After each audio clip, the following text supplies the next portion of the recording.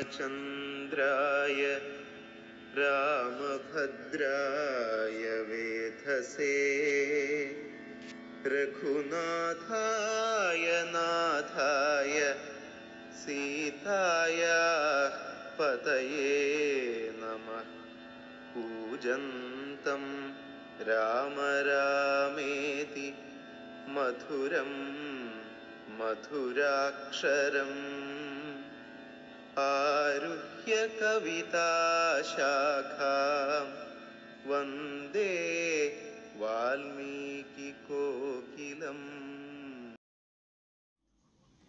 ഇന്നലെ നമ്മള് ആ, വായന അവസാനി ആ, അവസാനിപ്പിച്ചത് വാമദേവ മഹർഷിയുടെ വാക്കുകൾ ഇങ്ങനെ പകുതി ആക്കിയിട്ടാണ് അപ്പോ ശ്രീരാമന്റെ ആ, തത്വം പൗരജനങ്ങൾക്ക് പറഞ്ഞു കൊടുക്കുകയാണ് അദ്ദേഹം ചെയ്യുന്നത് അതിൽ മുൻപുള്ള എല്ലാ അവതാരങ്ങളെ കുറിച്ച് പറയുന്നു. അതിനുശേഷം സാക്ഷാൽ മഹാവിഷ്ണുവാണ് ഒരു പ്രത്യേക ഉദ്ദേശത്തോടു കൂടിയാണ് ഭൂമിയിലേക്ക് വന്നത് എന്നൊക്കെ പൗരജനങ്ങളോടൊക്കെ പറയുന്നുണ്ട്. അത് കേട്ട അതിനുശേഷം അതിന് ശേഷം എങ്ങനെയാണ് ഉൾക്കൊണ്ടത് എന്ന് എന്ന് നമ്മൾ കാണാൻ പോവുകയാണ്. എന്തായാലും അതിനുശേഷം സീതയും രാമനും ഒക്കെ ദശരഥനെ കണ്ട് യാത്ര പറയാൻ പോകുന്നു. കുറച്ചിങ്ങനെ ഒരു നാടകീയമായ വികാര നിർഭരമായിട്ടുള്ള രംഗങ്ങളാണ് അവിടെ പോയപ്പോൾ രാമനും സീതയ്ക്കും ഒക്കെ കൈകേയി ഈ സന്യാസ വേഷം ഈ വനത്തിന് പോകാനുള്ള വേഷം കൊടുക്കുന്നു.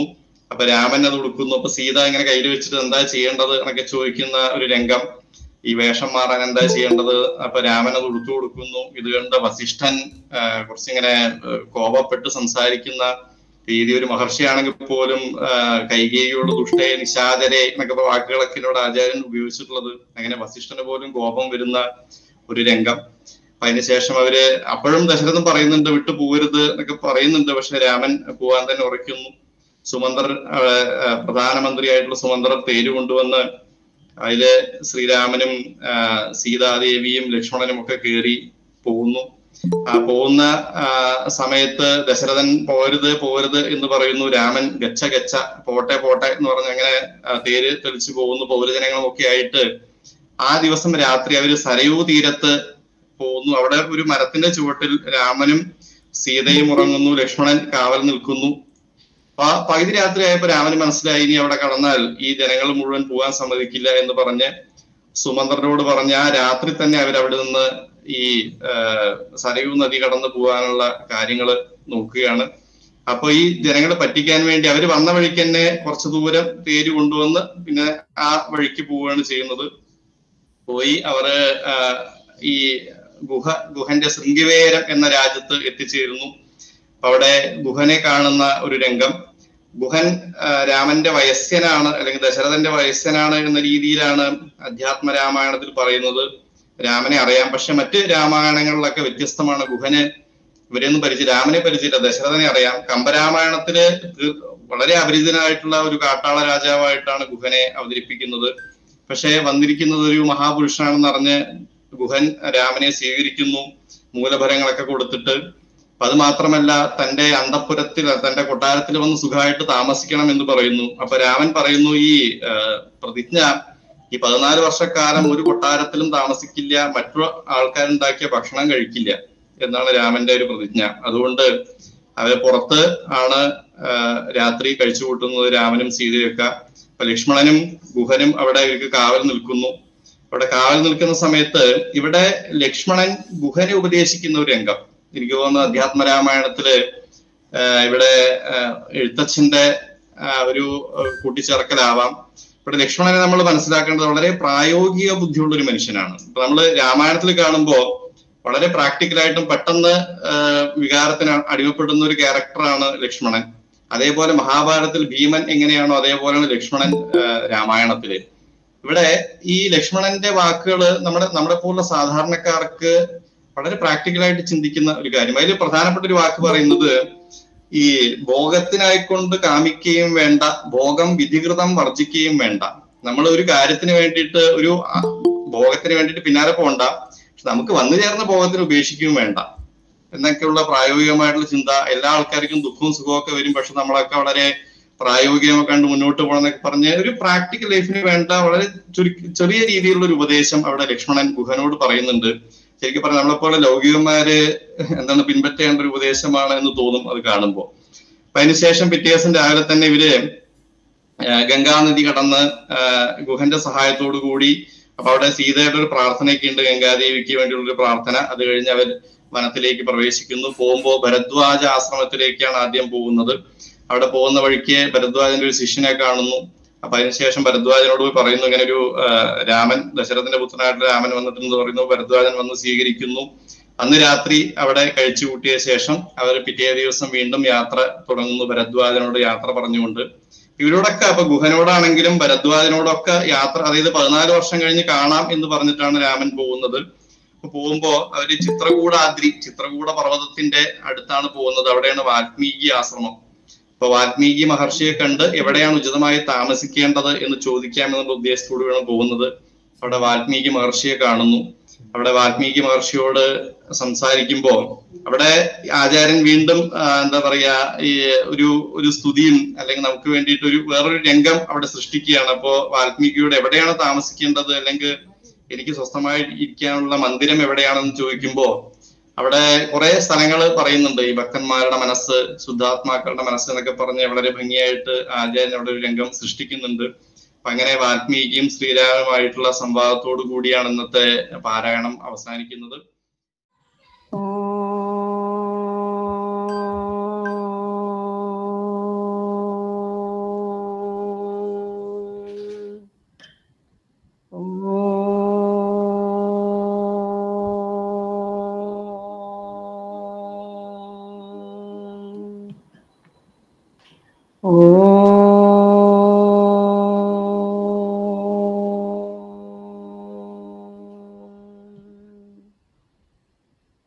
मे भूमिसुधा पुरञ्ज हनुमान् पश्चान् सुमित्रा सुधा शत्रुघ्नो भरदश्च पार्श्वदलयों वायुवादिकोणेषु च സുഗ്രീവശ്ച വിഭീഷണശ യുവരാൺ താരാസുതോ ജാംബവാൻ. മധ്യേ നീലസരോജ കോമളരുചിം രാമം ഭജേ ശ്യാമളം. സർവത്ര ഗോവിന്ദനാമ സങ്കീർത്തനം. ഗോവിന്ദ ഗോവിന്ദ. ഹരി എല്ലാവർക്കും. രാമായണ കഥ. പ്രധാനമായിട്ട് രാമായണത്തിൽ കൂടെ വാൽമീകി മഹർഷി എന്താണ് ഉദ്ദേശിക്കുന്നത് എന്നുണ്ടെങ്കിൽ വേദസാരത്തെ മുഴുവനായിട്ടും വളരെ സരളമായിക്കൊണ്ട് സാധാരണക്കാർക്ക് പോലും മനസ്സിലാക്കാൻ വേണ്ടിക്കൊണ്ട് രചിച്ചിട്ടുള്ളതാണ് ഈ രാമായണം.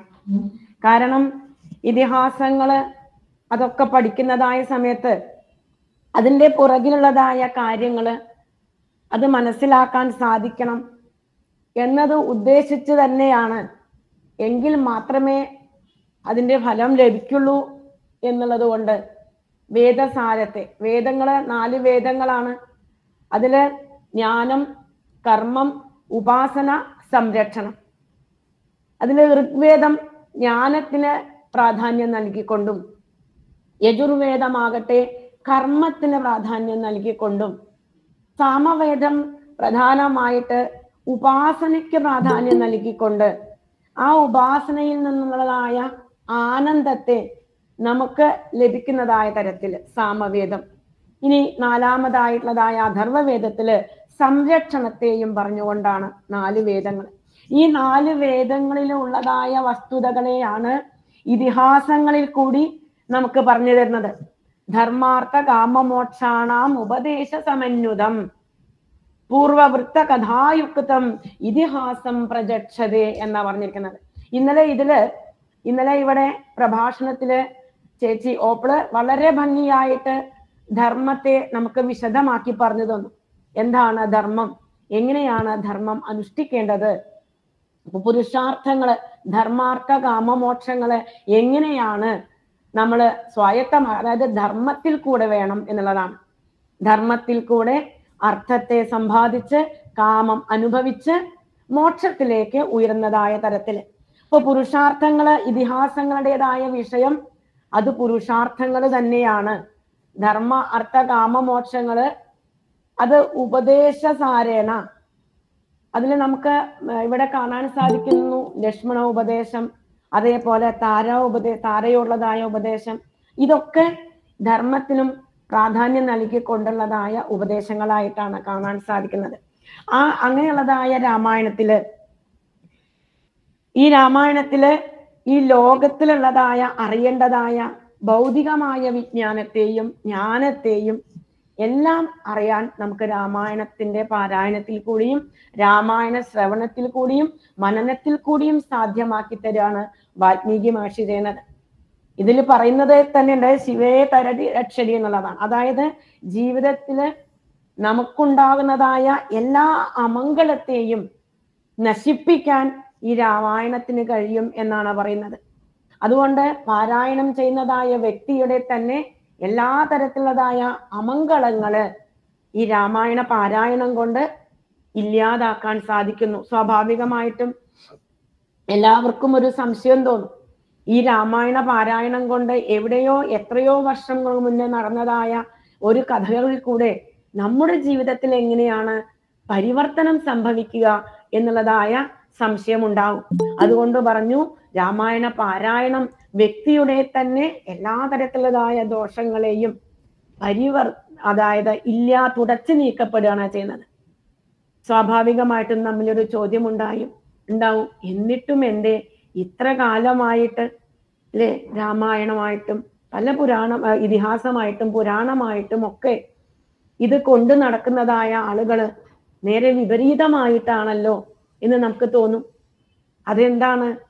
അത് നേരെ അതായത് അവനവന്റെ തന്മയി ഭാവത്തോടു കൂടി ഇത് പാരായണം ചെയ്യുന്നില്ല എന്ന് തന്നെയാണ് നമുക്ക് അതിൽ നിന്ന് മനസ്സിലാക്കാൻ സാധിക്കുന്നത്. ഇത് നമ്മളിൽ നടക്കുന്നതായ ഒരു വസ്തുതയായിട്ട് കണ്ട് അതിനെ മനസ്സിലാക്കി അതിനെ വേണ്ടതുപോലെ ഉൾക്കൊള്ളാൻ ശ്രമിച്ചാലേ ഇതിൽ പറഞ്ഞിട്ടുള്ളതായ അന്തസത്തയെ നമുക്ക് ഗ്രഹിക്കാൻ സാധിക്കുള്ളൂ അപ്പോ തപസ്സുകൊണ്ട് സമ്പന്നനായി തീർന്നതായ കവിയാണ് വാൽമീകി. ആ വാൽമീകിയുടേതായ ചരിത്രം അതായത് എങ്ങനെയാണ് രാമായണം ഉത്ഭവി അല്ലെങ്കിൽ അല്ലെങ്കിൽ കവിയിൽ നിന്ന് ഈ രാമായണം ഉണ്ടായത് എന്ന് പറയുന്ന വളരെ കുറച്ച് സമയം കൊണ്ട് നമുക്കതൊന്ന് നോക്കിയ ശേഷം രാമായണത്തിലേക്ക് ഒന്ന് കടക്കാം. മഹാവിഷ്ണു രാമനായിട്ട് ഭൂമിയിൽ അവതരിച്ചപ്പോ വേദം രാമായണമായിട്ട് അവതരിച്ചു എന്നാണ് പറയുന്നത്. വേദവേദ്യ പരം പുംസി ജാതേ ദശരഥാത്മജേ. എന്താണ്? അതായത് പ്രജേതസ് മുനിയുടെ പുത്രനായതുകൊണ്ട് വാൽമീകിക്ക് പ്രാജേതസ് എന്നുള്ളതായ പേരുണ്ടാവുകയാണ്. ഈ വാൽമീകി ഋഷിപുത്രനായ പ്രാജേതസ് അദ്ദേഹം ചെറുപ്പത്തിൽ വേണ്ടതുപോലെ യോജ്യമായിട്ടുള്ളതായ സംസ്കാരം എല്ലാം ശീലിച്ച് അതേപോലെ പഠനമെല്ലാം നടത്തിയത് നടത്തിയ ശേഷമാണ് പിന്നീട് എന്തായി തീർന്നത്? രത്നാകരനായിട്ട് മാറുന്നത്. അപ്പോൾ രത്നാകരൻ എന്നുള്ളതായ പേര് എപ്പോഴാണ് അദ്ദേഹത്തിന് വന്നിരുന്നത് എന്നുണ്ടെങ്കിൽ അല്ലെങ്കിൽ ലഭിച്ചത് എന്നുണ്ടെങ്കിൽ ദുർവൃത്തികളിൽ അകപ്പെട്ട് ഇദ്ദേഹം വഴിപോക്കർക്ക് മുഴുവനും ഉപദ്രവകാരിയായി മാറിയപ്പോഴാണ് രത്നാകരൻ എന്നുള്ളതായ പേര് അദ്ദേഹത്തിന് കിട്ടിയത്. അതായത് ഒരു കാട്ടാളന്റെ സംസ്കാരം സ്വീകരിച്ചപ്പോ കിട്ടിയതായ പേരാണ് രത്നാകരൻ എന്നുള്ളത്.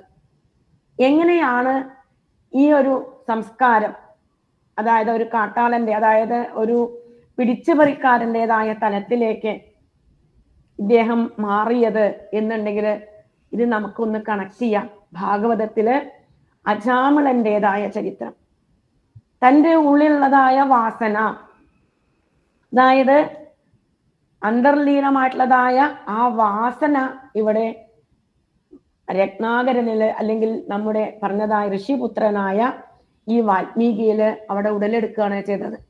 പക്ഷെ അവിടെ ഒരു പ്രയോജനമുണ്ടായി എന്താണ്? ചെറുപ്പത്തിൽ അദ്ദേഹം സ്വീകരിച്ചിട്ടുള്ളതായ അല്ലെങ്കിൽ അനുഷ്ഠിച്ചിട്ടുള്ളതായ ആ സംസ്കാരം പിടിച്ചുപറിക്കാരനായ സമയത്ത് അവിടെ സപ്തർഷിമാരെ അദ്ദേഹം കാണാനിട വരികയും അവരുടേതായ വാക്ക് അത് സസൂക്ഷ്മം അദ്ദേഹം ശ്രദ്ധിച്ചു എന്നുള്ളതാണ്. കാരണം സാധാരണ ഇങ്ങനെയുള്ളതായ സന്ദർഭത്തിൽ മഹാത്മാക്കളുടെ വാക്കുകളൊന്നും ഈ സ്വഭാവത്തിന് അടിമപ്പെട്ടവര് സാധാരണ കണക്കിലെടുക്കില്ല. ഇവിടെ സപ്തർഷിമാര് ചോദിച്ചു നീ ചെയ്യുന്നതായ ഈ പ്രവൃത്തിയുടേതായ ദോഷം നീ ഈ പ്രവൃത്തി ചെയ്തതിന്റെ ഫലം നിന്റെ വീട്ടുകാരും അനുഭവിക്കുന്നുണ്ട്. അവർ അനുഭവിക്കുമോ? എന്നൊന്ന് ചോദിച്ചു വരാൻ വിടുകയാണ്. അങ്ങനെയാണ് വീട്ടിൽ ചെന്നതായ സമയത്ത് പത്നിയോട് ചോദിച്ചപ്പോഴാണ് പറഞ്ഞത് താൻ താൻ നിരന്തരം ചെയ്യുന്ന കർമ്മങ്ങൾ താൻ താൻ അനുഭവിച്ചിടുകെന്നേ വരൂ. അതാണ് ഒരൊറ്റ വാക്കുകൊണ്ട് ആരാണ് അപ്പൊ യഥാർത്ഥത്തിൽ ഈ രത്നാകരനെ വാൽമീകിയാക്കിയത് യാതൊരു സംശയവുമില്ല. ആദ്യ ഗുരു സ്വന്തം പത്നി തന്നെയാണ് എന്നുള്ളതാണ്. ആ വാക്ക് പ്രചോദനമായി തീർന്നു രത്നാകരന്. തിരിച്ചു വന്നു. സപ്തർഷിമാര് ഒരു മന്ത്രവും കൊടുത്തു. ആ മന്ത്രമാണ് രാമമന്ത്രം. എന്താണ് ഈ രാമമന്ത്രത്തിന്റെ പ്രത്യേകത? നാം പറയുന്നതായ ശ്രീരാമസ്വാമിയെയാണോ ഇവിടെ രാമമന്ത്രം എന്നതുകൊണ്ട് ഉദ്ദേശിക്കുന്നത്? സാധാ മനുഷ്യനായി ജനിച്ച ശ്രീരാമസ്വാമിയെ അല്ല അവിടെ യഥാർത്ഥത്തിൽ പറയുന്നത്. ആരാണ് രമന്തേ യോഗിനോ യസ്മിൻ സ രാമഹ. ആരാണ് രാമൻ? ആരുടെ ഉള്ളിലാണോ? യോഗികൾ ആരിലാണോ രമിക്കുന്നവ രമിക്കുന്നത്? അവനാണ് രാമൻ. നമ്മുടെ എല്ലാവരുടെയും ഉള്ളിൽ അല്ലെങ്കിൽ യോഗികളുടെ കൂടെ സദാസമയം യോഗികൾ ആരിലാണോ രമിക്കുന്നത്? ആ പരമാത്മ ചൈതന്യം തന്നെയാണ് രാമൻ എന്നുള്ളതായ മന്ത്രം കൊണ്ട് ര എന്നുള്ളത് അഗ്നി ബീജാക്ഷര മന്ത്രാണ്. ആ ബി അതിന്റെ പുറകിൽ ശീതളമായ ഒരു ഒരക്ഷരവും കൂടി കൊടുത്ത് രാമ എന്നുള്ളതായ മന്ത്രം അവിടെ കൊടുത്തു.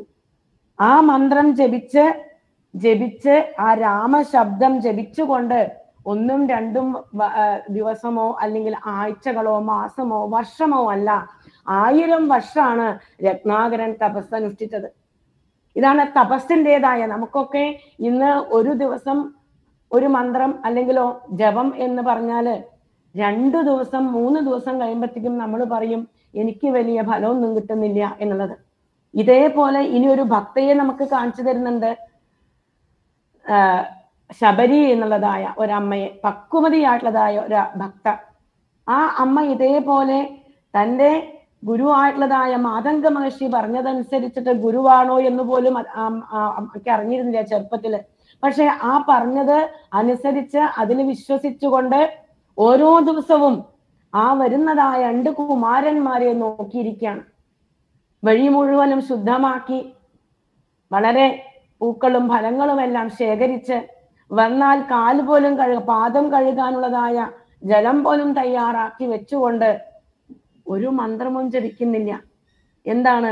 ആ ഒരു തപസ്സാണ്. ഇന്ന് വരും നാളെ വരും എന്നുള്ളതായ തന്റെ അവനവന്റെതായ മനസ്സാകുന്നതായ വാതിലും ഇന്ദ്രിയങ്ങളാകുന്നതായ ജനാലയും തുറന്നിട്ട് കാത്തിരുന്നു ആർക്കു വേണ്ടിക്കൊണ്ട് അന്ന് മാതംഗ മഹർഷി പറഞ്ഞു കൊടുത്തതായ രാമലക്ഷ്മണന്മാർക്ക് വേണ്ടിയിട്ട് അത് ഒരു തപസ്സാണ്. തപസ്സിന്റെ ഒടുവിൽ രാമദർശനം അവിടെ സാധ്യമാവുകയും ചെയ്തു. ആ പക്വമതിയായ അമ്മയ്ക്ക്. ഇവിടെയും അത് ആദ്യം തന്നെ വാൽമീകി മഹർഷിയുടേതായ തപസ്സിനെ കുറിച്ച് പറഞ്ഞു. ആ തപസ്സിന്റെ ഫലമായിട്ട് എന്ത് സംഭവിച്ചു? എവിടെയും പോകേണ്ടതായിട്ട് വന്നില്ല. സ്വന്തം ആശ്രമത്തിലേക്ക് തപസ്വാധ്യായ നിരതം തപസ്വി വാഗ്വിധാംബരം നാരദം പരിപപ്രച്ച വാൽമീകിർ മുനിപുങ്കവ. ആരെത്തിച്ചേർന്നോടെ തപസ്വാധ്യായ നിരതനായിട്ടുള്ളതായ നാരദര് അവിടെ വാൽമീകിയുടെ ആശ്രമത്തിലേക്ക് എത്തിച്ചേരാണ്. എന്തിന്റെ ഫലമായിട്ട്? തപസ്സിന്റെ ഫലമായിട്ട്. ഇനി അവിടെ നാരദര് വന്നു.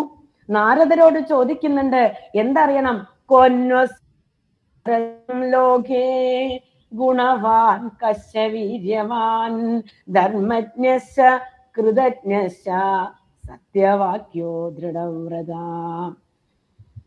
നാല് ശ്ലോകങ്ങളിലായിട്ട് പതിനാറ് ഗുണങ്ങളുള്ളതായ ഒരു വ്യക്തി ആരാണ്? അത്രയേ ചോദിച്ചിട്ടുള്ളൂ വാൽമീകി. അപ്പൊ മഹാത്മാക്കളെ കാണുമ്പോൾ എന്ത് ചോദിക്കണം എന്നുള്ളതാണ്. ചോദിക്കേണ്ടത് ചോദിക്കേണ്ടതായ സമയത്ത് ചോദിക്കേണ്ടതുപോലെ ചോദിക്കണം. അപ്പൊ എന്ത് കിട്ടുന്നു? അവിടെ പറഞ്ഞു കൊടുത്തു നാരദ മഹർഷി പതിനാറ് ഗുണങ്ങളുള്ളതായ ഒരാളല്ല അറുപത്തിനാല് ഗുണങ്ങളുള്ളതായ മഹാത്മാവിന്. അതായത് ഇവിടെ ആദ്യം പേര് വ്യക്തമാക്കി പറയില്ലല്ലോ. പിന്നീടാണ് അത് ശ്രീരാമചന്ദ്ര സ്വാമിയാണ് എന്ന് നമുക്ക് അറിയാൻ സാധിക്കുന്നത്.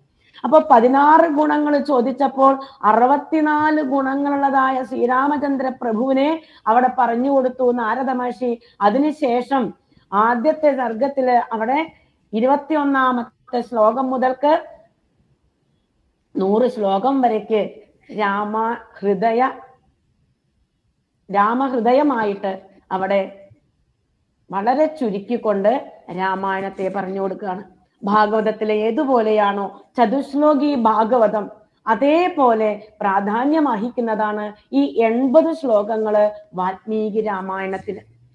ഈ വാൽമീകി രാമായണം ഇരുപത്തിനാലായിരം ശ്ലോകങ്ങൾ മുഴുവനും പഠിക്കണമെന്ന് ഇല്ല. ഇനി പഠിക്കണം എന്ന് ഇല്ല എന്നുള്ളതല്ല പറയണത്. പഠിക്കാൻ സാധിച്ചില്ലെങ്കിൽ നമ്മുടേതായ പ്രാരബ്ധങ്ങൾ കൊണ്ട് സാധിക്കാതെ പോകാം. എന്നാലും ഈ എൺപത് ശ്ലോകമെങ്കിലും വായിച്ചാൽ രാമായണം ഇരുപത്തിനാലായിരം ശ്ലോകങ്ങൾ വായിച്ചതിന്റെ ഗുണം നമുക്ക് ലഭിക്കും എന്നുള്ളതാണ്. അതാണ് നാരദ മഹർഷി ആദ്യം വന്ന് വാൽമീകിക്ക് അവിടെ പറഞ്ഞു കൊടുക്കുന്നത്.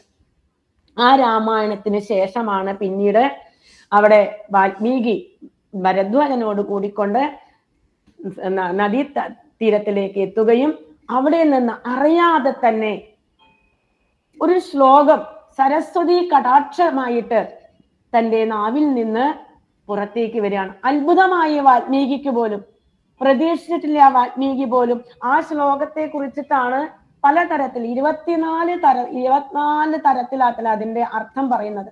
ഏത് ശ്ലോകമാണ്? മാ നിഷാദ പ്രതിഷ്ഠാത്വം അഗമ ശാശ്വതി സമാ അവധി കാമമോഹിതം. ഇരുപത്തിനാല് തരത്തിലാണ് ഇതിനെ വ്യാഖ്യാനിക്കുന്നത്. ഏതായാലും നമുക്ക് ആ അതിലെ സാധാരണ പറയുന്നതായ അർത്ഥം എല്ലാവർക്കും അറിയുന്നതാണ്. അതിനെ ഇവിടെ വിശദമാക്കുന്നില്ല. കാരണം ഒരു വാൽമീകി തപസ്വാധ്യായ നിരതനം ആ ചെയ്തതായ നാരദ മഹർഷി പറഞ്ഞുകൊടുത്ത് വാൽമീകി മഹർഷിക്ക് അതും കൂടാതെ ആയിരം വർഷം രാമമന്ത്രം തപസ് ചെയ്ത് ഉരുവിട്ടുകൊണ്ട് തപസ്സനുഷ്ഠിച്ചതായ വാൽമീകി മഹർഷിയിൽ നിന്ന് നാം ആദ്യം ഉദ്ദേശിക്കുന്നതായ ഒരർത്ഥം അവിടെ എന്തായാലും വരുന്നില്ല എന്ന് നമുക്കും പ്രതീക്ഷിക്കാം. അപ്പോൾ അതിനെ ഏതർത്ഥത്തിലാണ് നമുക്ക് ഉൾക്കൊണ്ടത്? മ എന്നതായ പദം ഇതിനെ ലക്ഷ്മി ഭഗവതിയായിക്കൊണ്ട് നമുക്ക് എടുക്കാം. മാ എന്ന് വെച്ചാൽ മാ രാമ മംഗളദേവത എന്നാ പറയാ. അത് അതേപോലെ മാ നിഷാദ നിഷീദതി ഇതി നിഷാദ. ഉപനിഷത്തിന്റെ അർത്ഥം പറയുമ്പോൾ ഉപനിഷത്ത് സമീപത്തിൽ ഇരിക്കുന്നത് എന്നതുപോലെ തന്നെ ഇവിടെ നിഷാദി നിഷീദതി ഇതി നിഷാദ. നിഷാദ എന്നുള്ളതായ ശബ്ദത്തിന് കൂടെ ഇരിക്കുന്നത് എന്നുള്ളതായ അർത്ഥം. അപ്പോൾ മായിൽ നിഷാദനം ചെയ്യുന്നവൻ ആരാണ്? ആരാണ് ലക്ഷ്മി ദേവിയിൽ കൂടെ എപ്പോഴും ഉള്ളത്? അത് സാക്ഷാൽ ശ്രീനിവാസൻ തന്നെയാണ്. ഒറ്റ വാക്കിന്റെ അർത്ഥം ലക്ഷ്മിയിൽ ഇരിക്കുന്നവൻ. ലക്ഷ്മി വല്ലഭനായ മഹാവിഷ്ണു എന്ന് തന്നെയാണ് അർത്ഥം. അപ്പൊ മാ നിഷാദ ശാശ്വതി സമ പ്രതിഷ്ഠാം ത്വമഗമ. ലക്ഷ്മി വല്ലഭനായ മഹാവിഷ്ണു അങ്ങേക്ക് ശാശ്വതവും സമവുമായ പ്രതിഷ്ഠ അങ്ങേക്ക് എല്ലാ കാലത്തും ഉണ്ടാകട്ടെ. എന്ന് ആ ഒരു വാക്കിന് ഒരർത്ഥം. ഇനി അടുത്ത ഒരു പദമുണ്ട് അവിടെ പറയുന്നുണ്ട്. ഇവിടെ ഈ ഒരു കാര്യം പറയണമെന്നുണ്ടെങ്കിൽ അതിന് എന്തെങ്കിലും ഒരു ആ ആശംസിക്കുന്നതായ ശ്ലോകത്തിന് ആ ആശംസിക്കുന്നതായ ഒരു സന്ദർഭം അവിടെ ഉണ്ടാവണമല്ലോ. അതിന് ഇവിടെ എന്ത് പറഞ്ഞു? ആ രണ്ട് ക്രൗഞ്ച പക്ഷികളെ കുറിച്ച് പറയുന്നുണ്ട്. അപ്പൊ ഈ ക്രൗഞ്ച എന്നുള്ളതായ പദത്തിന്റെ അർത്ഥം രാക്ഷസൻ എന്നാണ് പറയുന്നത്. ആ കൃഞ്ചതി ഇതി ക്രൗഞ്ച എന്നാണ് പറയുന്നത്. അപ്പൊ കൃഞ്ചതി എന്നാൽ ദ്രോഹിക്കുക ദ്രോഹിക്കുന്നവൻ രാക്ഷസൻ. ആ എന്താണ്? അതായത് രാവണ മണ്ടോദരിമാര് രണ്ട് മിഥുന പക്ഷികൾ. ആ രാവണ മണ്ടോദരിമാരിൽ കാമമോഹിതനായ രാവണനെ നീ കൊന്നുവല്ലോ. അതിലെ ലക്ഷ്മി വല്ലഭനായ ഹേ മഹാവിഷ്ണു അങ്ങേക്ക് ചിരസ്ഥായിയായിട്ടുള്ളതായ ഒരു യശസ് അല്ലെങ്കിൽ യശസ് അങ്ങേക്ക് എല്ലാ കാലത്തും സംഭവിക്കട്ടെ. ഇനി നിഷാദ ശബ്ദം എന്നുള്ളത് ശ്രീരാമചന്ദ്രനിൽ വന്നു ചേർന്നിട്ടുള്ളതായ ഒരു അപവാദം. ആ അപവാദം ഏറെ കാലം അങ്ങയിൽ അങ്ങയിൽ നിലനിൽക്കാതിരിക്കട്ടെ. ശ്രീരാമചന്ദ്ര സ്വാമി എത്രയും വേഗം ആ ദുർയശസ്സിൽ നിന്നും മോചിതനാവട്ടെ എന്നും അവിടെ അർത്ഥം പറയുന്നുണ്ട്. എന്തായാലും ആ അർത്ഥത്തോട് കൂടിയിട്ടാണ് വാൽമീകി രാമായണം അവിടെ ആരംഭിച്ചതായ സമയത്ത് ആ ഒരു ശ്ലോകം ഉള്ളിൽ നിന്ന് വന്നതായ സമയത്ത് സരസ്വതി കടാക്ഷം ഉണ്ടായപ്പോൾ അവിടെ ആര് വന്നു? ബ്രഹ്മാവ് തന്നെ വന്ന് രാമായണത്തെ കുറിച്ച് ആ രാമായണം എഴുതാനും പറഞ്ഞുകൊണ്ട് ബ്രഹ്മാവ് ബ്രഹ്മാവ് അവിടെ നിന്ന് പോവുകയാണ്. അങ്ങനെയാണ് ഈ രാമായണത്തിന്റെതായ തുടക്കമായിട്ട് നമുക്ക് കാണാൻ സാധിക്കുന്നത്. ഇനി രാമായണത്തിൽ വാൽമീകി മൂന്ന് കുടുംബങ്ങളെ പ്രത്യേകമായിട്ട് ആ മൂന്ന് കുടുംബങ്ങളുടെ കഥയാണ് ഇവിടെ പറയുന്നത്. ഒന്ന് ദശരഥന്റെ രാജ്യഭരണത്തിന്റെ അയോധ്യയുള്ളതായ ആ രാജകുടുംബം. മറ്റൊന്ന് ബാലിയുടേതായ ആധിപത്യത്തിൽ കിഷ്കിന്തയുള്ളതായ വാനര കുടുംബം. മൂന്നാമതായിട്ട് രാവണന്റെ ആധിപത്യത്തിൽ ലങ്കയിലുള്ളതായ രാക്ഷസ കുടുംബം. ഇങ്ങനെ മൂന്ന് കുടുംബങ്ങളുണ്ട്. ഈ മൂന്ന് കുടുംബങ്ങളുടെ സ്വഭാവം നമുക്കൊന്ന് വിശകലനം ചെയ്യുമ്പോൾ അതിൽ നിന്ന് ദശരഥനെ സത്വഗുണപ്രധാനിയായിട്ടും ബാലിയെ രജോ ഗുണപ്രധാനിയായിട്ടും രാവണനെ തമോ ഗുണപ്രധാനിയായിട്ടും നമുക്ക് അവിടെ കാണാൻ സാധിക്കുന്നു. അപ്പൊ ഈ മൂന്ന് കുടുംബങ്ങളുടെ കഥയായ ഈ രാമായണം ഓരോ കുടുംബാംഗവും ആചരിക്കേണ്ടതായ കടമകൾ അത് തന്നെയാണ് അവരുടെ ധർമ്മം എന്ന് വാൽമീകി മഹർഷി പറഞ്ഞു തരാം. അപ്പോ അവനവന്റേതായ സ്വധർമാനുഷ്ഠാനം അത് എങ്ങനെയാവണം എന്ന് കാണിക്കാൻ വേണ്ടിക്കൊണ്ട് ഓരോ കുടുംബത്തിലെ അംഗങ്ങളെയും വിവിധ കഥാപാത്രങ്ങളായിട്ട് ചിത്രീകരിച്ചുകൊണ്ട് ഇവിടെ വാത്മീകി മഹർഷി നമുക്ക് സ്വധർമ്മം എന്താണ് എന്ന് ഉറപ്പിച്ച് നമ്മുടെ ഓരോരുത്തരുടെയും കുടുംബത്തിൽ ഇത് എങ്ങനെ അനുഷ്ഠിക്കണം എന്നും രാമായണത്തിൽ കാണിച്ചു തരുന്നു. ഇവിടെ ഈ സ്വധർമ്മം എന്നതുകൊണ്ട് കുടുംബജീവിതത്തിലെ പല വിധത്തിലുള്ളതായ ധർമ്മങ്ങൾ ഓരോ കുടുംബാംഗങ്ങളും അല്ലെങ്കിൽ ഓരോ കുടുംബ അംഗത്തിനും ഉണ്ട്. പിതൃധർമ്മമായിട്ടും പതിധർമ്മമായിട്ടും പത്നിധർമ്മമായിട്ടും പുത്രധർമ്മമായിട്ടും സാഹോദര്യമായിട്ടും. അങ്ങനെ പല ധർമ്മങ്ങളും അവിടെ പറയുന്നുണ്ട്. ഇവിടെ ആദ്യം നമുക്ക് പിതാവിന്റെ ധർമ്മം. ഇവിടെ രാമായണത്തിലെ പിതാക്കന്മാര് നമുക്ക് കാണിച്ചു തരികയാണ്. ധർമാചരണത്തിൽ സത്വരജ തമോ ഗുണങ്ങൾ ഇത് ഈ ധർമ്മം ആചരിക്കുമ്പോൾ അത് പ്രകടമായിട്ട് അതിലുണ്ടാവും. അപ്പൊ ഈ മൂന്ന് കുടുംബങ്ങളിലെയും മാതാപിതാക്കന്മാര് അവരവരുടേതായ സംസ്കാരത്തിന് സംസ്കാരത്തിന് ചേർന്ന വിധത്തിലുള്ളതായ ധർമ്മത്തെ അവിടെ അനുഷ്ഠിച്ച് കാണിച്ചു തരുന്നുണ്ട്. സന്താന പരമ്പരകളെ സൃഷ്ടിച്ചുകൊണ്ട് പിതൃ ഋണം പിതൃകടം എന്നുള്ളതായ ആ കാര്യം വീട്ടിക്കൊണ്ട് പിതൃധർമ്മത്തെ ആചരിച്ച് ആ സന്തതികളിൽ കൂടെ അവരുടെ വംശ പരമ്പരയുടേതായ തുടർച്ച അവിടെ നിർവഹിക്കുകയാണ് ദശരഥൻ ചെയ്യുന്നത്. അപ്പൊ ദശരഥൻ തന്റെ മക്കളെ വളർത്തുന്നത് ഈ വിധം എല്ലാ പിതൃധർമ്മങ്ങളും ആചരിച്ചുകൊണ്ട് തന്നെയാണ് എന്നുണ്ടെങ്കിലും വാൽമീകി അവിടെ പറഞ്ഞു തരുന്നു ചില ന്യൂനതകൾ ദശരഥനിലും അവിടെ ഉണ്ടായിട്ടുണ്ട്. അത് കാണിച്ചു തരുന്നുണ്ട്. ഇനി മാതൃധർമ്മം അതിനെ എടുത്ത് പറയുമ്പോ എങ്ങനെയാണ് ഈ മാതൃധർമ്മം പരാജയപ്പെടുന്നത് എന്ന് കാണിച്ചു തരുന്നുണ്ട്. അതിന് ഇവിടെ സത്വഗുണപ്രധാനമായ ഈ അയോധ്യയെ സത്വഗുണപ്രധാനമായിട്ടാണ് ചിത്രീകരിക്കുന്നത്. അതിൽ സത്വഗുണപ്രധാനമായ ഈ അയോധ്യ രാജധാനിയിൽ തന്നെ കൗസല്യ സുമിത്ര കൈകേയി. ഈ മൂന്ന് അമ്മമാരിൽ കൂടെ സത്വരജ തമോ ഗുണങ്ങളുടെ പ്രതീകങ്ങൾ നമുക്ക് അവരിൽ കൂടെ കാണിച്ചു തരികയാണ് പ്രതീകങ്ങളായിട്ട് കാണിച്ചു തരികയാണ്. അപ്പൊ കൈകേയിയെ പോലെ അല്ല കൗസല്യയെ പോലെയുള്ളതായ ഒരു അമ്മയായി തീരാനാണ് ഈ രാമായണം വായിക്കുന്ന എല്ലാ സ്ത്രീകളുടെയും ആഗ്രഹം ഉണ്ടാവുക. എന്തുകൊണ്ടാണ് കൈകേയിയെ പോലെ ആവരുത് കൗസല്യയെ പോലെ ആവണം എന്ന് നാം ആഗ്രഹിക്കുന്നത്? അതായത് ഈ കഥ കഥാപാത്രങ്ങളുമായി നമ്മൾ അത്രയേറെ ഇഴുകിച്ചേർന്ന് ഇരിക്കുന്നത് കൊണ്ടാണ് അപ്പോൾ രാമായണത്തിലെ കഥാപാത്രങ്ങൾ എല്ലാവരും തന്നെ ഓരോരോ പ്രദർശന വസ്തുക്കളായിട്ട് ഇവിടെ വാൽമീകി മഹർഷി ചിത്രീകരിച്ചു തരികയാണ്. ആ വാൽമീകി ഇവരുടെ ആ ഗുണദോഷങ്ങളായിക്കൊള്ളട്ടെ ധർമ്മം ആചരിക്കുന്നതായ രീതി ആയിക്കോട്ടെ ഇതെല്ലാം നമുക്ക് പരിചയപ്പെടുത്തി തരുമ്പോ ഇനി നമുക്ക് ഒരു കഥാപാത്രത്തെ ഇഷ്ടമായിട്ടില്ലെങ്കിൽ വേറൊരു കഥാപാത്രത്തിന്റെതായ സ്വഭാവത്തെ നമുക്ക് വേണമെങ്കിൽ അനുകരിക്കാം. പക്ഷെ അങ്ങനെയാകുമ്പോൾ കൗസല്യയിലും സുമിത്രയിലും കണ്ടിട്ടുള്ളതായ ആ മാതൃത ധർമ്മം ആയിരുന്നില്ല കൈകയിൽ അവിടെ കാണിച്ചു തരുന്നത്. എന്തുകൊണ്ടാണ് എന്നുണ്ടെങ്കിൽ അവിടെ മാതൃധർമ്മം ദുഷിക്കാൻ ഇടവരാണ്. എങ്ങനെയാണ് ഈ മാതൃധർമ്മം ദുഷിക്കുന്നത് എന്നും വാൽമീകി അവിടെ പറഞ്ഞു തരുന്നുണ്ട്. കാരണം എന്താണ്?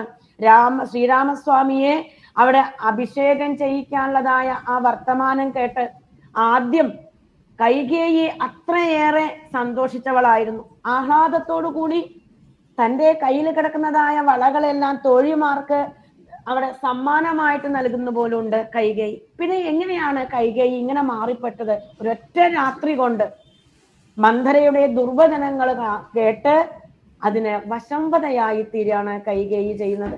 അപ്പൊ ഈ ഇടപെടൽ കൊണ്ട് ദുരന്തം അവിടെ അനുഭവിക്കുന്നു. നമ്മുടെ ജീവിതത്തിൽ നമ്മൾ ഓരോരുത്തരും.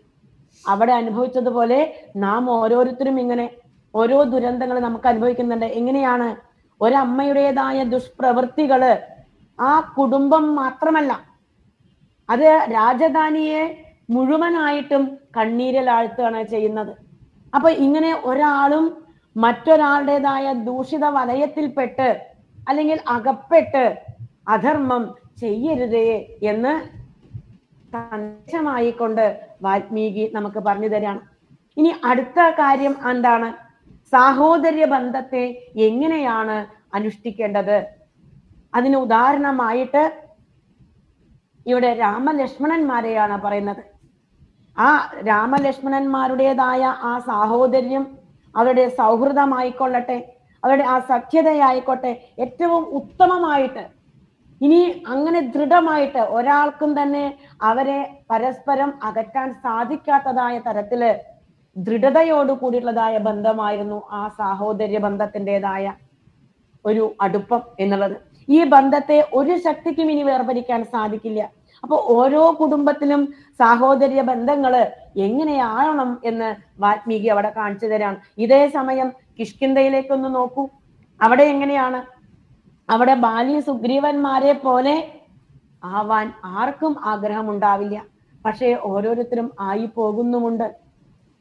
എങ്ങനെയാണ്? കാരണം കടുത്ത വൈരാഗ്യ ബുദ്ധിയോടുകൂടിയാണ് സഹോദരനെ കൊല്ലാൻ വേണ്ടി കാത്തിരിക്കുന്നതായ അഭിനവ ബാലിമാര് ഇന്ന് നമ്മുടെ സമൂഹത്തിൽ ചുറ്റും നമുക്ക് കാണാൻ സാധിക്കും. അതുകൊണ്ട് ഈ സഹോദര ബന്ധത്തിൽ വരുന്നതായ പ്രശ്നങ്ങൾ ഒരു കുടുംബത്തിന്റെ നാശത്തിന് തന്നെ കാരണമായി മാറുന്നു എന്നുള്ളതാണ്. അതാണ് നമ്മൾ ആദ്യം പറഞ്ഞത്. ഈ രാമായണം വായിക്കുന്നു അതേപോലെ ശാസ്ത്രങ്ങൾ പഠിക്കുന്നു എന്നതല്ല. അതുകൊണ്ട് രാമായണത്തിലുള്ളതായ കാര്യങ്ങൾ സൂക്ഷ്മമായ വശങ്ങളിൽ കൂടി ഇറങ്ങിച്ചെന്ന് അത് നമ്മൾ തിരിച്ചറിയാനും അത് മനസ്സിലാക്കാനും ശ്രമിക്കുമ്പോഴാണ് ഭാഗവതം അല്ലെങ്കിൽ രാമായണമൊക്കെ നമ്മളിൽ അത് പ്രവർത്തിക്കുക എന്നുള്ളതാണ്. അല്ലെങ്കിൽ ഇത് വെറുതെ ഒരു സമയം പോകാൻ വേണ്ടി കൊണ്ട് ഒരു ആചരണത്തിന് വേണ്ടി മാത്രം ആചരിക്കുന്നതായിട്ട് മാറുകയാണ്. കർക്കിടക മാസം വന്നു രാമായണം എടുക്കുന്നു. വൈശാഖ മാസമായി ഭാഗവതം എടുക്കുന്നു. പക്ഷേ അതിന്റെ ഉള്ളിലേക്കൊന്ന് ഇറങ്ങിച്ചെല്ലാനോ അത് എന്റെ ജീവിതത്തിലേക്ക് എനിക്കൊന്ന് പ്രാവർത്തികമാക്കണമെന്നോ ആർക്കും തോന്നുന്നില്ല എന്നുള്ളതാണ് ഏറ്റവും ദയനീയമായിട്ടുള്ളതായ വസ്തുതയും. ഇനി കിഷ്കിന്ദ കാണ്ഡത്തിൽ അവിടെ നോക്കുമ്പോൾ സമ്പാദി ജഡായു എന്നുള്ളതായ രണ്ട് പക്ഷികളുടെ സാഹോദര്യം മറ്റൊരു ഒത്തൊരുമ ബന്ധത്തെ അവിടെ നമുക്ക് കാണിച്ചു തരികയാണ് അവിടെ എന്നോ മരിച്ചു പോയിട്ടുള്ളതായ ജഡായു. ആ ജഡായുവിന്റെതായ മരണവാർത്ത വാനരന്മാരിൽ നിന്ന് കേൾക്കുന്നതായ സമ്പാദി തന്നെ തന്റെ ആ, സഹോദരൻ മരിച്ചതായ ആ സമുദ്ര തീരത്തിലേക്ക് എത്തിക്കാൻ അവരോട് അപേക്ഷിക്കുകയാണ്. മരണവാർത്ത വൈകിട്ടാണ് അറിഞ്ഞത് എന്നുണ്ടെങ്കിലും ഉദയ ക്രിയകളോ കൂടെ ആ അനുജന്റേതായ മോക്ഷലബ്ധിക്ക് വേണ്ടിക്കൊണ്ട് അവിടെ പ്രാർത്ഥിക്കുന്നുണ്ട് സമ്പാദി അപ്പൊ തന്റെ അനുജന് വേണ്ടി കണ്ണുനീരോട് കൂടിക്കൊണ്ട് ഒരു ശ്രദ്ധാഞ്ജലി അവിടെ നടത്തുകയാണ് സമ്പാദി ചെയ്യുന്നത് അപ്പൊ പക്ഷികളുടേതായ ഈ സാഹോദര്യവും അവിടെ കവി മനോഹരമായിക്കൊണ്ട് നമുക്ക് കാണിച്ചു തരുന്നുണ്ട്. ഇനി കടൽ കടന്നു ചെന്നാലോ? അവിടെയുമുണ്ട് മൂന്ന് സഹോദരന്മാർ. രാവണനായിട്ടും കുംഭകർണൻ എന്ന പേരിലും വിഭീഷണനായിക്കൊണ്ടും. ഇവിടെ കുംഭ കുംഭകർണന് തീരെ ഇഷ്ടമല്ലാത്തതായ പ്രവൃത്തിയാണ് രാവണൻ ചെയ്യുന്നത്. പലതരത്തിലെ കുംഭകർണൻ അത് പ്രകടിപ്പിച്ചിട്ടുണ്ട് രാവണനോട്. എന്നാൽ അപ്പോ ഒന്നും തന്നെ രാവണൻ അത് ചെവിക്കൊള്ളുന്നില്ല. എന്നാൽ കുംഭകർണൻ അപ്പോഴും എന്താണ് ജ്യേഷ്ഠനെ ഉപേക്ഷിച്ചു പോവാൻ ഉദ്ദേശിക്കുന്നില്ല. ആ ജ്യേഷ്ഠന്റെ കൂടെ തുടരാൻ തന്നെയാണ് അവിടെ കുംഭകർണൻ ഉദ്ദേശിക്കുന്നത്. എങ്കിലും അനുജൻ എന്ത് ചെയ്യുന്നു? ഇവിടെ ആ കൂടെ നിന്നുകൊണ്ട് പക്ഷേ വിഭീഷണനാകട്ടെ എന്താണ്? ഒരുപാട് ഉപദേശിച്ചു ജ്യേഷ്ഠനെ. നേരാക്കാൻ ശ്രമിച്ചു. പക്ഷേ ജ്യേഷ്ഠന്റേതായ ഈ ദുഷ്പ്രവൃത്തികൾക്ക് കൂട്ടുനിൽക്കാൻ ഇനി തന്നെ കൊണ്ടുവയ്യ. അത് തീരുമാനിച്ചുകൊണ്ട് ജ്യേഷ്ഠനെ ഉപേക്ഷിക്കുകയാണ് ഈ അനുജനായ വിഭീഷണൻ. എങ്ങനെയാണ്? ഗുരുന്ന സസ്യാൽ സ്വജനോ ന സസ്യാൽ പിതാന സസ്യാൽ ജനനീന സസ്യാൽ ദൈവം ന സസ്യാൽ ന പതീന സസ്യാൽ നമോ ജയേര്യ സമുഭേദ മൃത്യും ഈശ്വരന്റെ അടുത്തേക്ക് എത്താൻ ആരാണോ മുന്നിൽ പ്രതിബന്ധമായിട്ട് നിൽക്കുന്നത് അവരെ മുഴുവനും വെട്ടിമാറ്റിക്കൊണ്ട് ഈശ്വരനിലേക്ക് നമ്മ നാം എത്തിച്ചേരേണ്ടതായിട്ടുണ്ട്.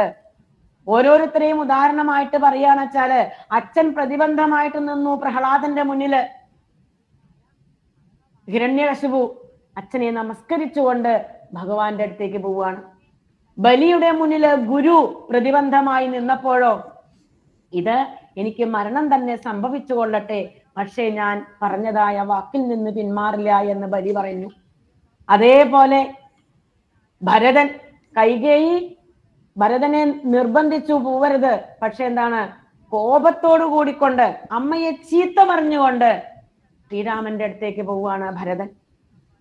അപ്പൊ ഇങ്ങനെയാണ് ഇവിടെ കാണുന്നത്. അതേപോലെ വിഭീഷണൻ എന്ത് ചെയ്തു? ഇനി ജ്യേഷ്ഠനെ നന്നാക്കാൻ സാധിക്കില്ല. അതുകൊണ്ട് എത്തിച്ചേർന്നു. എവിടെ? രാമസമക്ഷം എത്തിച്ചേർന്നു എന്നുള്ളതാണ്. അതുകൊണ്ട് രാമന്റെ അടുത്ത് വിഭീഷണൻ ശരണാഗതി ചെയ്ത് എത്തുകയാണ് ചെന്നത് ഈശ്വര സ്വരൂപം തന്നെയാണ് ശ്രീരാമസ്വാമി എന്ന് അറിഞ്ഞുകൊണ്ട് വിഭീഷണൻ വരുന്നു. അങ്ങനെ സീതയെ രാമന്റെ അടുത്ത് തിരികെ എത്തിച്ച് തന്റെ തിന്മകൾക്കൊക്കെ പരിഹാരം നേടാനുള്ളതായ സൽബുദ്ധി ജ്യേഷ്ഠനെ ലഭിക്കാൻ വേണ്ടിക്കൊണ്ട് അപ്പോഴും പ്രാർത്ഥിക്കുന്നുണ്ട് വിഭീഷണൻ. അതാണ് സഹോദര്യത്തിന്റെതായ ഒരു എന്താ പറയണ്ട ആ അത്രയും വരെ ആ ജ്യേഷ്ഠൻ പോലും ആ ഒരു ഭാവത്തിൽ നിന്ന് ആ ഒരു ഗുണത്തിൽ നിന്ന് തമോ ഗുണത്തിൽ നിന്ന് മാറാൻ അനുജൻ പ്രാർത്ഥിച്ചുകൊണ്ടിരിക്കുന്നു എന്നുള്ളതാണ്. ഈ പിന്നെ നമുക്ക് ഇവിടെ കാണാൻ സാധിക്കുന്നത് സീതാദേവിയുടേതായ ആ ഒരു എങ്ങനെയാണ് പതി പത്നി ബന്ധം ഉണ്ടാവേണ്ടത് വിവാഹ അനന്തരം എങ്ങനെയായിരിക്കണം പതി പത്നി ബന്ധം എന്നുള്ളത് കാണിച്ചു തരികയാണ് വിവാഹത്തിന് ശേഷം സീതാദേവി തന്നെ പറയുന്നുണ്ട് വാൽമീകി രാമായണത്തിൽ തനിക്ക് രണ്ട് ഹൃദയം പോലെ തോന്നിയത്രേ സീതാദേവിക്ക്. കാരണം എന്തെങ്കിലും ഒരു ശ്രീരാമസ്വാമിയുടേതായ മനസ്സിലെ വികാരം അത് ശ്രീരാമസ്വാമിയിൽ നേരിക്കുന്നതായ സമയത്ത് അതേ സമയത്ത് സീതാദേവിയിലും ഉണ്ടായി എന്നുള്ളതാണ്. അപ്പൊ പരസ്പരം എങ്ങനെയാണ് വിവാഹ ജീവിതം കൊണ്ടു നടക്കേണ്ടത് എന്നും അവിടെ കാണിച്ചു തരികയാണ്. പരസ്പരം സഹകരിച്ചുകൊണ്ട് മനസ്സിലാക്കിക്കൊണ്ട് ജീവിതത്തെ മുന്നോട്ട് നയിക്കണം എന്നുള്ളത് ആ പത്നീധർമ്മം അതേപോലെ പാതിവ്രത്യം ഇതൊന്നും ആരും പഠിപ്പിച്ചു കൊടുക്കേണ്ടതായ ആവശ്യമില്ല എന്ന് സ്വതസിദ്ധമായിട്ട് ധർമ്മബോധത്തോടു കൂടി സീതാദേവി അവിടെ എല്ലാ കാലത്തും തന്റെ പതിയുടെ കൂടെ തന്നെ നിന്നുകൊണ്ട് അത് നമുക്ക് കാണിച്ചു തരുന്നു. അപ്പൊ ഭർത്താവിന്റെ കൂടെ സഞ്ചരിച്ചുകൊണ്ട് അദ്ദേഹത്തിന് നേർവഴിക്ക് നയിക്കുക അതാണ് തന്റെ ധർമ്മം എന്ന് സീതാദേവിക്ക് നല്ലതുപോലെ അറിയാമായിരുന്നു. പതിം നീയതേ ഇതി പത്നി എന്നുള്ളതാണ്. പതിയെ നയിക്കുന്നവളാണ് പത്നി എന്നുള്ളതായ ആ ധർമ്മം. അപ്പൊ അത് വേണ്ടതുപോലെ ഇവിടെ സീതാദേവി കാണിച്ചു. ഇനി നമുക്ക് കാണാൻ സാധിക്കുന്നു മണ്ടോദരിയുണ്ട് താരയുണ്ട്. ഇവർ രണ്ടുപേരും മാതൃകകൾ തന്നെയാണ്. എങ്ങനെയാണ്? മണ്ടോദരി രാവണന്റേതായ പത്നിയായ മണ്ടോതിരി ഭർത്താവിന്റെ ദുഷ്പ്രവൃത്തികളെ ശക്തമായിട്ട് എതിർക്കുമ്പോഴും അദ്ദേഹത്തെ ഉപേക്ഷിക്കാൻ മണ്ടോതിരി തയ്യാറാവുന്നില്ല എന്നുള്ളതാണ്. അവസാനം വരെയും ഭർത്താവിനെ നന്നാക്കാനുള്ളതായ ശ്രമം മണ്ടോതിരി തുടരുക തന്നെ ചെയ്തു എന്ന് വാത്മീകി രാമായണം കാണിച്ചു തരുന്നു. അപ്പോ ഇത്തരം കഥാപാത്രങ്ങളിൽ കൂടെ മുഴുവനും കുടുംബധർമ്മങ്ങൾ എങ്ങനെയാവണം എന്ന് കാണിച്ചു തരികയാണ്. ഇനി അത് കഴിഞ്ഞ് പിന്നീടോ ഇവിടെ ദേവന്മാര് ഋഷിമാര് മനുഷ്യന്മാര് രാക്ഷസന്മാര് പക്ഷികൾ വാനരന്മാര് വൃക്ഷങ്ങൾ നദികൾ എല്ലാറ്റിനെയും കുറിച്ച് പറയുന്നുണ്ട്. അപ്പോ ഓരോ സമയത്ത് ഈ അയോധ്യ കാണ്ഡത്തിലൊക്കെ ചിത്രകൂടത്തിലൊക്കെ പ്രവേശിക്കുന്നതായ സമയത്ത് അവിടെ അതിമനോഹരമായിട്ട് പ്രകൃതി ഭംഗിയെ എടുത്തു പറയുന്നുണ്ട് വാത്മീക മഹർഷി. തീർന്ന വിവരിച്ചാലും വിവരിച്ചാലും മതി വരാത്തതായ പ്രകൃതി സൗന്ദര്യത്തെ. വാത്മീക രാമായണം ഒന്ന് വായിച്ചു നോക്കുമ്പോൾ നമുക്ക് പോലും ആ ഒരു സന്ദർഭത്തിൽ നാം എത്തിപ്പെട്ടതായിട്ടുള്ളതായ ഒരു അനുഭവമാണ് അത് വായിക്കുമ്പോൾ. കാരണം വേപ്പുമരം അവിടെ പലതരത്തിലുള്ളതായ വൃക്ഷങ്ങൾ അങ്കോലമായിട്ടും പുളിമരമായിട്ടും വില്ലുമരമായിട്ട് ഇരട്ടിമധുരം നെല്ലിക്ക മരം അതേപോലെ കൊല കൊലയായിട്ട് വീഴ് വീഴ്ന്നു കിടക്കുന്നതായ നെല്ലിക്കകൾ ഇതൊക്കെ ഇങ്ങനെ അതിമനോഹരമായിട്ടാണ് വാൽമീകി മഹർഷി വർണിച്ചിരിക്കുന്നത്. അത് മാത്രമല്ല ആ മന്ദാകിനി നദിയിൽ അങ്ങനെ സുവർണ പുഷ്പം അങ്ങനെ മഞ്ഞ മഞ്ഞയായിട്ട് കൊന്നപ്പൂ പോലെ അങ്ങനെ നദിയിൽ വീണ് അതിനോടൊപ്പം ചുവന്നതായ പുഷ്പം ആ മഞ്ഞപ്പൂക്കൾ അങ്ങനെ എടുത്തു കൊണ്ടുവരുന്നതായ രീതിയിൽ മന്ദാകിനി അങ്ങനെ ഒഴുകുന്നു. ഇത് കണ്ട് ശ്രീരാമസ്വാമി പറയുന്നുണ്ട് സീതാദേവിയോട് രാജ്യത്തെ വിട്ടത് ഞാൻ അറിയുന്നില്ല സീതെ. എനിക്ക് നഷ്ടമൊന്നും ഇപ്പൊ തോന്നുന്നില്ല. കാരണം കുറച്ചു നാളത്തേക്ക് ഒരു വിഷമമൊക്കെ ഉണ്ടായിരുന്നു എനിക്ക്. പക്ഷെ ഇതാ ഇവിടെ എന്താണ്? ഇതാ ഇതൊക്കെ കാണുമ്പോ ഈ രമണീയമായ രമ്യമായിട്ടുള്ളതായ ഈ മലയെ കണ്ട് അയോധ്യ വിട്ടുവന്നത് ഞാൻ അറിയുന്നില്ല. മനസ്സ് പ്രശാന്തമായിട്ടിരിക്കുന്നു എന്റെ ഇപ്പോ. പ്രസന്നമായിട്ടിരിക്കുന്നു. സുഹൃത്തുക്കളെ വിട്ടുവന്നതും എനിക്ക് അറിയാൻ സാധിക്കുന്നില്ല. എനിക്ക് യാതൊരു തരത്തിലുള്ളതായ ദുഃഖവും തോന്നുന്നില്ല. ഇതം തും അമൃതം പ്രാഹോ. രാജ്ഞി രാജശ്രയോ പരേ വനവാസം ഭവാർത്തായ പ്രത്യമേ പ്രബിതാമഹ അപ്പൊ എൻ നമുക്ക് തോന്നും എന്തിനാണ് ഇങ്ങനെ ആധ്യാത്മികമായ വിഷയങ്ങളൊക്കെ പറയുമ്പോൾ എന്തിനാണ് ഈ പ്രകൃതി ഭംഗിയെ ഇത്ര വിശദമായിട്ട് അവിടെ വർണിച്ചിരിക്കുന്നത് എന്ന് നമുക്ക് തോന്നും? കാരണം ഇവിടെ എന്തുകൊണ്ടാണ് ഇത്ര വിശദമായിട്ട് ഇങ്ങനെ വർണിച്ചത് എന്നുണ്ടെങ്കിൽ ഈ പ്രകൃതി തന്നെയാണ് പുരുഷന്റേതായ ഒരു ഭാഗം. അല്ലെങ്കിൽ പ്രകൃതിയിൽ നിന്ന് അന്യമായിട്ടുള്ളതായ ഒരു വസ്തുതയല്ല അല്ലെങ്കിൽ ഈശ്വരനിൽ നിന്ന് അന്യമായിട്ടുള്ളതായ ഒരു വസ്തുതയല്ല പ്രകൃതി. അത് കാണിച്ചു തരികയാണ്. അപ്പോ ഈശ്വരനെ കണ്ടെത്താൻ ശ്രമിക്കുന്നു എന്നുള്ളത് ഈ പ്രകൃതിയിൽ കൂടെ തന്നെ നമുക്ക് സാധ്യമാകുന്നതായ ഒരു വിഷയമാണ് എന്ന് കാണിച്ചു തരികയാണ്. അതായത് ഒറ്റയ്ക്ക് എവിടെയെങ്കിലും പോയി ഒരു ഗുഹയ്ക്ക് അക- അകത്തിരുന്ന് കണ്ണടച്ചിരിക്കൽ മാത്രമല്ല ആധ്യാത്മികത. ആ പ്രകൃതിയിലേക്ക് ഇറങ്ങി ആ പ്രകൃതിയുമായിട്ട് ഇടചേർന്ന് നിൽക്കുന്നതും ആധ്യാത്മികതയുടെ ഭാഗം തന്നെയാണ്. രണ്ടും ഒന്ന് തന്നെയാണ് എന്ന് പറഞ്ഞു തരികയാണ് അവിടെ ചെയ്യുന്നത്. അതിനാണ് ഇത്രയേറെ പ്രകൃതി ഭംഗിയൊക്കെ അവിടെ വർണിച്ചു കൊടുക്കുന്നത്. ശ്രീരാമസ്വാമി അത് കണ്ട് പറയുന്ന പോലും ഉണ്ട്. ആ വിചിത്രമായിട്ടുള്ളതായ ആ വനങ്ങളിലൊക്കെ സഞ്ചരിക്കുന്നതായ സമയത്ത് കുസുമേ ഉപസമ്പനം അതിന്റെ കര അങ്ങനെ മണലോട് കൂടിക്കൊണ്ട് ആ മന്ദാകിനി നദിയുടേതായ കര മണലോടുകൂടി ഭംഗിയായിട്ട് അങ്ങനെ കാണുന്നതായ സമയത്ത് പുഷ്പ നദി പുഷ്പങ്ങളെ എടുത്തു കൊണ്ടുവരുന്നത് പോലെ പറഞ്ഞാലും പറഞ്ഞാലും തരാത്തതായ ആ വർണനകളെ അല്ലെങ്കിൽ ആ പ്രകൃതി ഭംഗിയെ അവിടെ എടുത്തു വർണിക്കുന്നുണ്ട് വാത്മീകി മഹർഷി. അതായത് ഈശ്വരനെ അന്വേഷിക്കാൻ പോകുമ്പോൾ ഈശ്വരനെ അന്വേഷിക്കുന്ന ഭാഗമായിട്ട് ഒന്നിൽ നിന്നും ഒളിച്ചോടേണ്ടതല്ല. ഈശ്വര അന്വേഷണം അല്ലെങ്കിൽ ആധ്യാത്മികത തന്റെ ഉള്ളിലേക്ക് ഇറങ്ങി ചെല്ലുന്നത് പോലെ തന്നെ ഈ പ്രകൃതിയെ രമണീയ പ്രകൃതിയുടേതായ രമണീയത നമ്മൾ ആസ്വദിക്കേണ്ടതായിട്ടുണ്ട് എന്നുള്ളതാണ്. അത് നമുക്കറിയാം മഹാഭാരതത്തിൽ ശ്രീസുഖ ബ്രഹ്മഷി ജനക മഹാരാജാവിന്റെ അടുത്തേക്ക് പോകുന്നതായ സമയത്ത് അനേകം പർവതങ്ങളെ കുറിച്ചും നദികളെ കുറിച്ചും ഒരുപാട് വർണനകളുണ്ട്. വനത്തെ കുറിച്ചും ഒക്കെ വർണിക്കുന്നുണ്ട്.